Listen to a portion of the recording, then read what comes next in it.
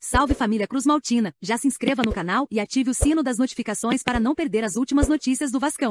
Fala aí torcedor do Gigante da Colina. Essa notícia é bombástica. Pegou todos de surpresa. Agitou a torcida. Ninguém esperava. No próximo sábado o Vasco dá início à sua jornada na Série A do Brasileirão. Com o objetivo de cravar uma vaga na Libertadores, o trabalho não será fácil. Mas a 777, detentora dos direitos do Vascão, não mediu esforços e na primeira janela já investiu mais de 100 milhões de reais para reformular o elenco. O time comandado pelo técnico Maurício Barbieri começou o campeonato bem, mas passou por um problema delicado após ser eliminado de duas competições na mesma semana. Sabendo de todas as carências desse elenco, Paulo Brax vai ao mercado novamente para trazer novos reforços para os setores que o time vem tendo problemas. Com o mercado do exterior fechado, o Vasco olhou para o mercado nacional e mirou um atleta. Revelado pelo Internacional, a primeira oportunidade do atleta surgiu com o nosso coordenador Abel Braga em 2020. Logo após foi comandado pelo próprio Maurício Barbieri no Red Bull Bragantino em 2021 e 2022. Trata-se de Bruno Pracedes. Já deixe seu like nesse vídeo para ficar por dentro das atualizações do Gigante da Colina. O torcedores.com apurou Bruno Pracedes não terá sua saída dificultada pelo Bragantino.